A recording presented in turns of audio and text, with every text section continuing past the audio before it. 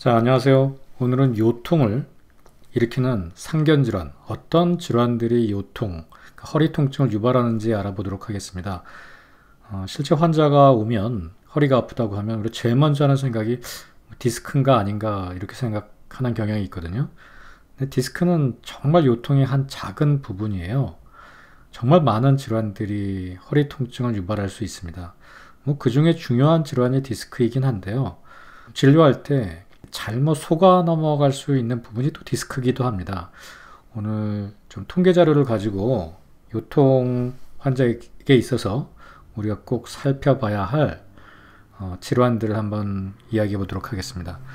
일단 요통은 이렇게 미케니컬한 기계적인 원인이 있을 수 있고요. 그 다음에 non 미케니컬한 뭐 대표적으로 종양이라든가 뭐 염증성 질환 이런 걸로 인한 그 요통 들 수 있고 또 내장의 통증, 그뭐 pelvic organ, 뭐 대표적으로 키드니 뭐 이런 문제들이 요통을 또 유발할 수 있습니다. 돌이 생기어도 요통을 유발할 수 있고 생각보다 환자들이 통증 부위를 꼭 집어서 얘기하기 어려운 경우가 많습니다. 이렇게 많은 질환들이 요통을 유발하거든요. 그 중에서 다행히도 미케니컬한 요통이 97%를 차지합니다. 그러니까 다른 것의 비중이 꽤 작죠. 하지만 작다고 해서 우리가 몰라도 된다 이런 건 절대 아니잖아요. 이런 것도 작은 그 3%면 또 작다고 말할 수도 없습니다. 0.1%의 가능성이라도 위험한 경우에는 꼭 이 감별 진단을 해야 되니까요. 뭐 sepsis도 있고 뭐 epidural abscess 이런 것들 다 빠른 치료가 필요할 수 있으니까요.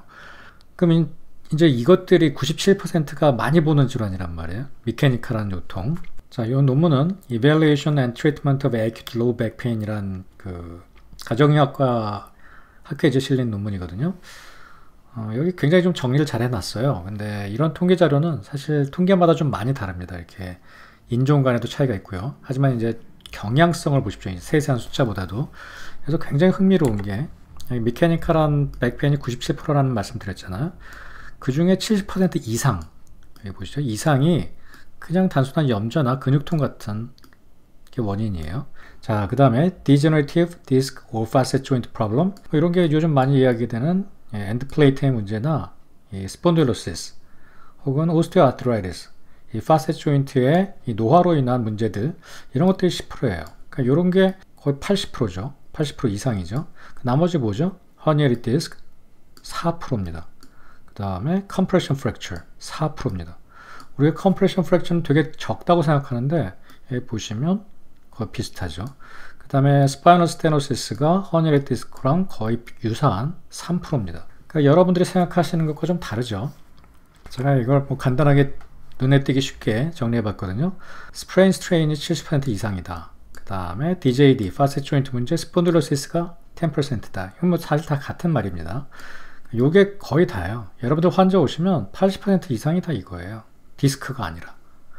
그런데 실제 급성 통증으로 그 내원하시는 분들 보면 MRI 한 장씩 다 갖고 오시거든요. 근데 디스크가 있는 분들이 거의 제 생각에 반 정도 되는 것 같아요. 적게 잡아도 3분의 1?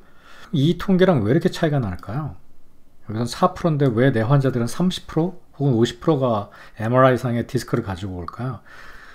그 사람은 과거의 디스크를 알았더라도 지금 현재 통증은 이쪽일 경우가 대부분입니다. 제 환자들도 그랬고요. 그 MRI 소견상 옛날에 3년 전에 찍은 MRI 소견상 디스크가 나왔다라는 것이 지금 통증이 disc herniation으로 인한 신경압박 통증이라는 것을 의미하지 않습니다. 어쨌든 4%, compression fracture 4%, 그 다음에 spinal stenosis 3%, 그 다음에 spondylolisthesis나 lysis가 2%입니다.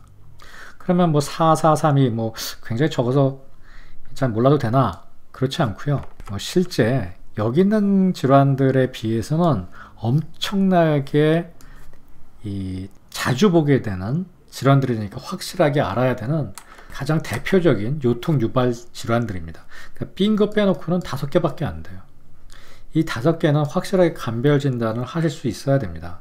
첫 번째 spondylosis, disc herniation, 압박골절, 척추관 협착증, 그다음에 전방전이증. 요거 다섯 개는 꼭 이렇게 예후도 또 감별 진단도 또 치료법도 상세하게 알아둬야죠. 자, 먼저 이 disc herniation과 음, spinal stenosis 이 두 가지 질환은 신경 압박 증상을 흔하게 유발하거든요. 음, 치료가 좀 많이 달라지니까요. 뭐 compression fracture나 spondylolysis도 listhesis가 되면 또 신경 압박을 유발할 수도 있습니다. 하지만 흔한 경우가 아니고 얘네 둘이 가장 흔하게 신경 압박을 유발하죠. 신경 압박을 유발하는 질환들을 우리가 peripheral nerve entrapment라고 부릅니다. 그러니까 말초신경이 눌렸다는 얘기예요. 뭐 대표적으로 수근관 증후군, carpal tunnel syndrome을 예를 들 수 있겠죠. 허리 통증에서 좌골신경통을 유발하는 piriformis syndrome이 예전에는 많이 진단이 됐었습니다. 최근에는 진단하는 걸 해갖고 오는 걸 제가 잘 보지 못하고요. 뭐 어깨 통증에서는 thoracic outlet syndrome 이런 모든 질환이 peripheral nerve entrapment입니다. 디스크도 이런 nerve entrapment 하나예요. spinal stenosis도 이런 entrapment 하나예요. 그래서 다리의 방산통을 특징으로 합니다. 그럼 이런 말초신경이 여기 신경근이거든요. 그러니까 여기까지 중추신경, 여기는 뭐 사실 cauda equina죠. 말초신경으로 나가는 그 딱 뿌리 부분에서 닿는 거예요. carpal tunnel syndrome이랑 똑같죠. 이게 disc herniation이죠. 대부분 잘 알고 계시는 거고요. 척추관 협착증은 이 공간 자체가 이제 좁아지는 겁니다. 뭐 물론 nerve root가 나가는 공간이 좁아지는 것도 척추관 협착증이라고 해요. 그러니까 어떤 이유에서든지 신경이 지나가는 길이 퇴행성으로 주로 좁아지는 경우 척추관 협착증입니다. 뭐 퇴행성이 아닌 경우에 뭐 tumor나 이런 걸로도 좁아질 수 있지만 예, 일반적으로 spinal stenosis는 노화로 인한 척추관의 협착을 얘기합니다. 가장 중요한 특징은 intermittent claudication, 보행의 문제가 일어났다 안 일어났다 하는 사실이죠. 그러니까 뭐 환자가 표현할 때는 한 블락만 가면 주저앉아야 되고 주저앉았다가 다시 일어서면 또 갈 수 있고 뭐 이런 문제, 그 다음에 다리의 무력감, 신경 압박이 있으니까요. 이런 증상 그리고 양쪽으로 나타나는 신경학적 통증. 디스크는 보통 한쪽으로만 일어나죠. 뭐 물론 양쪽으로 일어날 수도 있습니다. 센트럴하게 압박이 되면 다 아시는 거죠.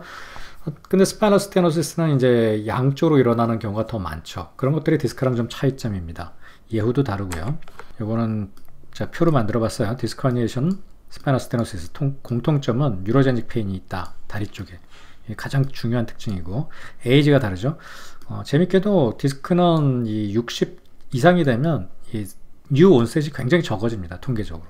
그러니까 새로 생기질 잘 않습니다.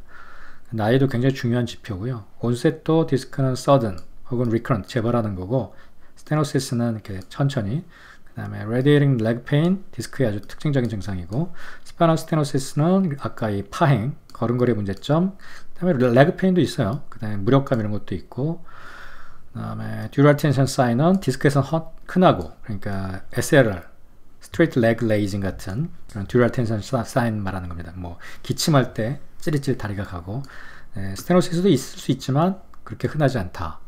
요 구분을 기억해 놓고 간별 진단하십시오. 네, 다시 한번 제가 강조드리지만 제가 얘기하는 게 4% 3% 얘기입니다. 대부분은 여기에 해당합니다. 4% 3% 얘네 둘의 가장 큰 특징은 뭐다? 신경학적 증상이다. 다리에 힘이 없거나 방산통, 다리 쪽으로 내려가는 증상, 보행의 문제, 파행 이런 것들이 가장 중요한 감별점입니다. 나머지들은 다 이 비특이적인 허리 통증을 호소하기 때문에 잘 감별하기가 어렵습니다. 통증 양상으로 하나하나 얘기해 보죠.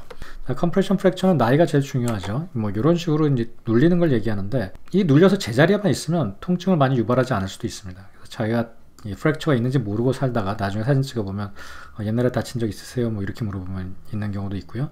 또 어떤 경우는 굉장히 고질적으로 몇 년씩 통증을 유발하는 경우도 있죠. 다음에 spondylolysis나 이 listhesis는 이 젊은 애들한테 많이 일어나요. 그래서 꼭 기억해 두셔야 됩니다. 어린 아이가 예, 허리, 허리 통증 이렇게 운동한다면 좀 아프고 많이 아프고 하면 이 lysis나 listhesis 의심해 봐야 되고요. 특히 이렇게 요추 전만 hyperlordosis가 있는 경우 꼭 기억해 두십시오. 이건 이제 완전히 부러진 것이 앞으로 이동하는 경우를 listhesis라고 하고요. mechanism은 네, 동일하죠. 이동을 했느냐 안 했느냐로 차이가 있는 거고요. 꼭 기억하실 것은 이 나이밖에 없습니다. 10살에서 15살 특히 이렇게 gymnast나 dancing 이런 거 하는 경우 꼭 의심해 봐야 되죠. 그 다음에 중요한 게 spondylosis죠. spondylosis는 이제 척추증 우리말로 이렇게 번역하고요. 어, 사실 특별한 병변이 없다는 얘기입니다. 이렇게 노화가 돼서 일어나는 증상이고요. 이렇게 뻣뻣하고 막연하게 통증이 있고 한방으로 얘기하면 허증이죠. 노화로 인한 osteoarthritis 혹은 degenerative joint disease 다 비슷한 것을 말하는 거고요. 뭐 facet joint syndrome 이렇게도 얘기합니다. facet joint가 이제 척추의 관절을 이루는 joint이기 때문에 어, 여기 이제 꽤 빈도가 높죠. 그리고 통증 양상도 만성적이긴 하지만 급성 strain sprain과 비슷하고요. 또 반복적이고 꼭 기억해 두셔야 됩니다. 10%. 여기에 이제 spondylosis, osteoarthritis 뭐 이렇게 부르는 예, 병리적 현, 그 상황입니다. 다음에 ankylosing spondylitis는 이 진행성의 염증인데요. 학생분들이 되게 민감하게 이것들을 자주 얘기하시는데 빈도는 굉장히 적습니다. 그러니까 단순히 뻣뻣하다고 해서 ankylosing spondylitis를 의심할 필요가 전혀 없고요. 대부분은 뻣뻣한 게 이렇게, 이렇게 osteoarthritis 상황 혹은 spondylosis 상황입니다. 그 ankylosing spondylitis는 이렇게 진행합니다. 급하게 진행하고 보니 fusion이 아주 심하게 일어나죠. 이제 spondylosis에서는 좁아지긴 하지만 fusion까지 가진 않죠. 그 다음에 sprain strain 가장 흔하게 보는 70에서 80%. 그 다음에 이것도 하나 기억해 두셔야 되는 게 coccyx pain. 꼬리뼈가 염좌되거나 부러지는 상황.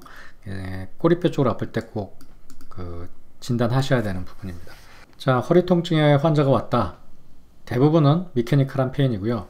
그 visceral pain이나 이런 systemic한 전신의 질환으로 인한 뭐 염증성 통증을 일단 감별하셔야 되고요. 대부분은 이 기계적 통증입니다. mechanical한 pain인데 그 중에서도 가장 빈도가 높은 것은 삔 거를 제외하면 다섯 개밖에 안 됩니다. 이거는 척추의 노화고요. 그 다음에 디스크, 그 다음에 골절, 그 다음에 협착증, 그 다음에 척추 분리증. 요거 다섯 개를 꼭 감별할 수 있도록 하십시오. 요 두 개는 신경학적 증상, 그러니까 다리 쪽의 증상이 나타나는 것이 특징이다. 나머지 sprain, spondylosis, compression fracture, spondylolysis는 증상이 매우 유사할 수 있다. lysis는 환자의 나이, compression fracture도 환자의 나이가 아주 중요합니다. 이거는 골다공증이나 폐경 이후, 이거는 20대 이전, 다음에 이것도 나이가 중요하죠. 노화니까. 그리고 이거는 선행 질환이 있느냐, 그러니까 preceding trauma가 있느냐, 이런 것들을 잘 문진하셔서 다섯 개만 하여튼 잘 감별하십시오.